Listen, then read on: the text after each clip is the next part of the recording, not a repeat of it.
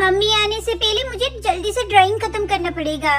रिदेश ना मम्मा मम्मा सॉरी मैं ड्राइंग नहीं करूँगी पेपर का वेस्ट भी नहीं करूँगी कलर का वेस्ट भी नहीं करूँगी मैं पढ़ाई बस बस बस बेटा तुमको ड्राइंग करनी है। मम्मा मेरा स्कूल में ना ड्राइंग कंपटीशन है इसलिए मैं ड्राइंग प्रैक्टिस कर रही थी। अच्छा तुम्हारा ड्राइंग कंपटीशन है। चलो हम लोग अच्छे अच्छे ड्राइंग बनाएँगे और मैं तुमको सिखाऊँगी।